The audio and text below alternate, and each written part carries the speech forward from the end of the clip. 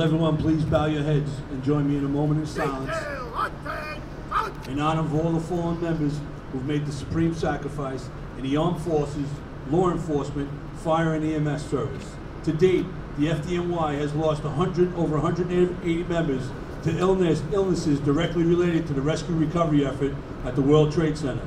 Please keep many of the members who continue to battle their illnesses that are directly related to the rescue recovery in your thoughts and prayers. This time, I'd like the Chief Warrant Officer and the Chief of Department to please lay a wreath in honor of the fallen 343.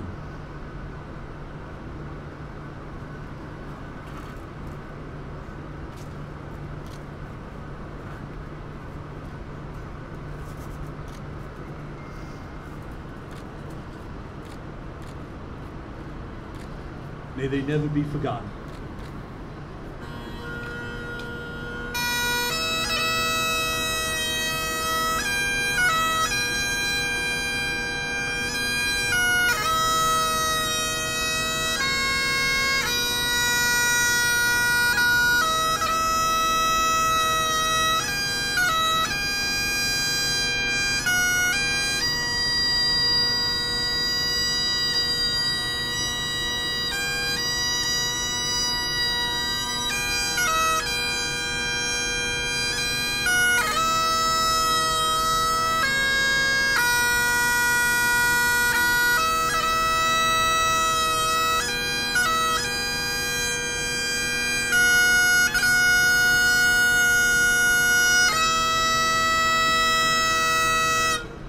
Good afternoon. My name is Lieutenant Joe LaPointe from the FDNY Ceremony Unit. I'd like to welcome everyone to Engine 10, Ladder 10. This is ground zero for the FDNY. Members of 10 House were the first members of the FDNY to respond, respond to the September 11 attacks of the World Trade Center. Today we remember the bravery of the 343 members of the FDNY who made the supreme sacrifice 17 years ago today. On September 11, 2001, this department lost simply not 343 members, but lost one member 343 times. Today, we come to remember each of these members as individuals. The following members who made the supreme sacrifice from the Ten House that day Lieutenant Gregg Atlas, firefighter Paul Pansini, Lieutenant Steve Varell, firefighter Sean Tallon, firefighter Jeffrey Olsen, and retired Captain James Corrigan. We also have the son and brother of two of our special guests, firefighter Jonathan Ielpi, Squad 288, and firefighter John Chipura, Engine 219. And today we are honored to have some special guests. The 2nd Marine Aircraft Wing Band under direction of Chief Warrant Officer Stephen Howe, FDNY's Chief of Department James Leonard. We also have Captain Gerard Chipura from Engine 164, whose brother John is one of the 343 members who made this perish that day, and firefighter Lee Ielpi from Rescue 2, who was a 25-year veteran of the FDNY, also a Vietnam veteran with the U.S. Army. His son John Jonathan also perished, was one of the 343 that day. We especially honored to welcome the family members and the officers and members of Engine 10, Ladder 10 to attend today's very special ceremony. It's my honor to introduce our first speaker, Chief of Department James Leonard.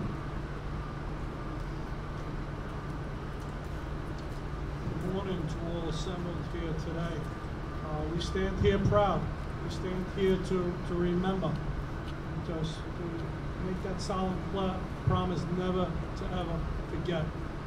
As we stand here with the Marine Corps band from from North Carolina, we know that a hurricane is about to hit and they will be departing we wish them Godspeed on the way back.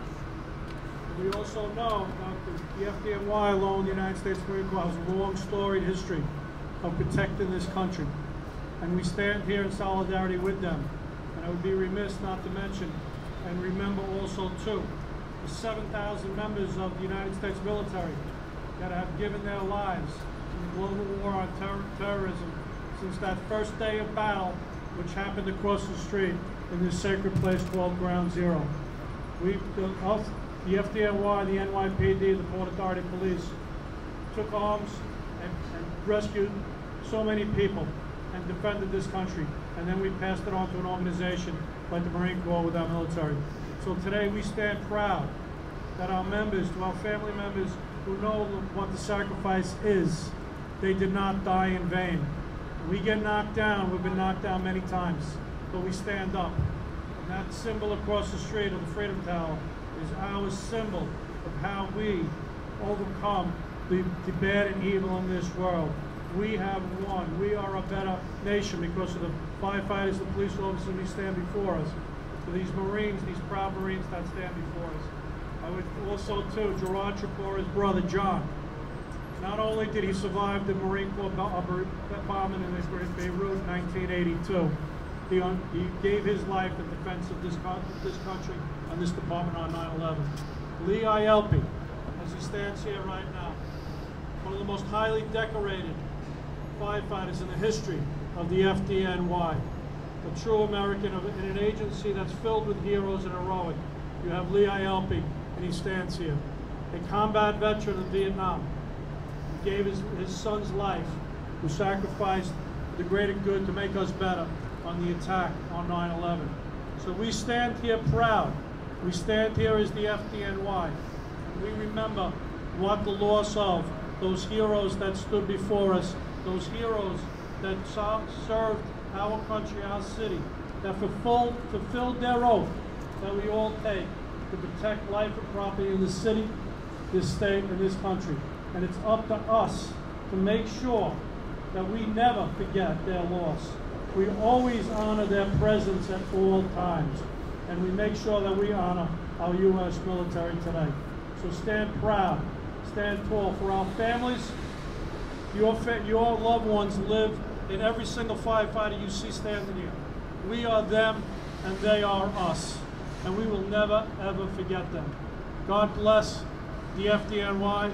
God bless the United States Marine Corps. And God bless this great country. Thank you.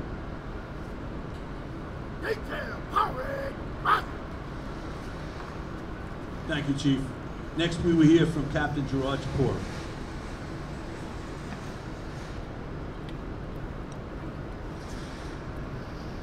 Thank you to the Marine Corps Band for being here today, for the wonderful and powerful music that you give to us. Thank you for your service to our great country, May and Godspeed home before the storm. Again, I am honored to be here, honored to be here speaking to you today. A day that brings a variety of emotions to all of us. For me, it's a roller coaster of emotions. From deep sadness because my only brother is not here to enjoy a life that he had planned for to high honor because I am able to stand in the honor guard where the names of our fallen are read. And this year, my daughter Elizabeth read her uncle's name, my brother John Chipura. As you heard before, he was one of our 343 firefighters lost on September 11th. When I think about 9/11, I try to keep my spirits up. When I think about service, commitment, and dedication, those are the core values that my brother had and what he stood for. Those exact values, you members United States Marine Corps, the uniform here, exhibit every single day. John spent his life in service, starting out as a Boy Scout in his hometown of Tompkins. And then as United States Marine surviving the Marine Corps barracks bombing in Beirut, Lebanon, 1983, where 241 sailors and Marines died, sacrificing their life to the first at the first terrorist attack affecting America. And then he was York City officer. But his service did not end with John.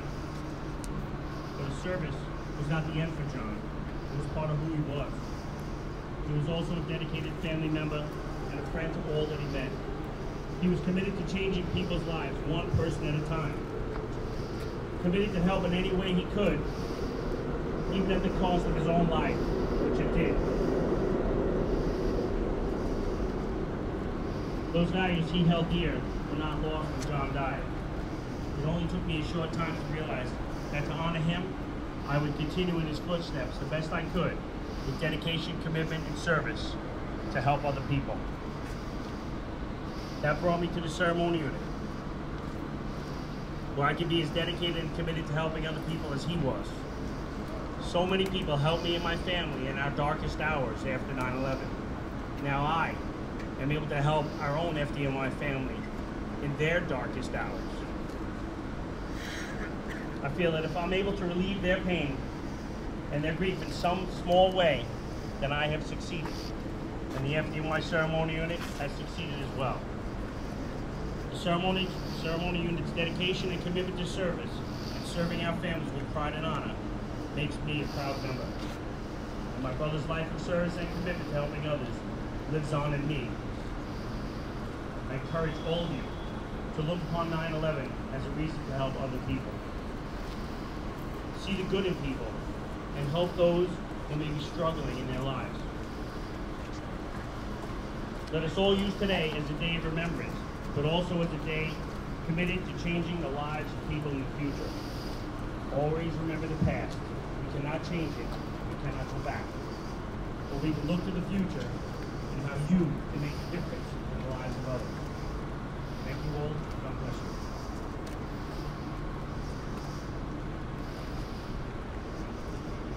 Thank you, Chief. Next, we will hear from Lee Ielpi.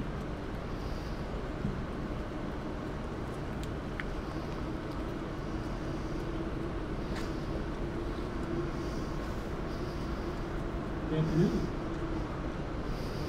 Listen, I'm short. You know, I, like to speak about the job. I always think about this, about this job. There is nothing better than this job. And we speak about these men and women to my left here, the Marine Corps guys and gals. Easy to forget the chores that they have to go through to keep this country safe, but we also have to remember their families, the wives, the boyfriends that are left behind, the children that are left behind. We have to keep them in our thoughts because, you know, just as 9/11 happened and the, the families that were at home didn't know where their loved ones were, it's no different than our military folks. When we talk about the FDNY, what we have to do is look behind. So this war. This is, you know, what's that saying? Some gave war to only well, 9 11. You show that what this job is about. The sacrifices that we're not afraid to do to keep up that spirit of the important to understand not just what happened on 9 11, but what's going on now, today, 17 years later. We can talk.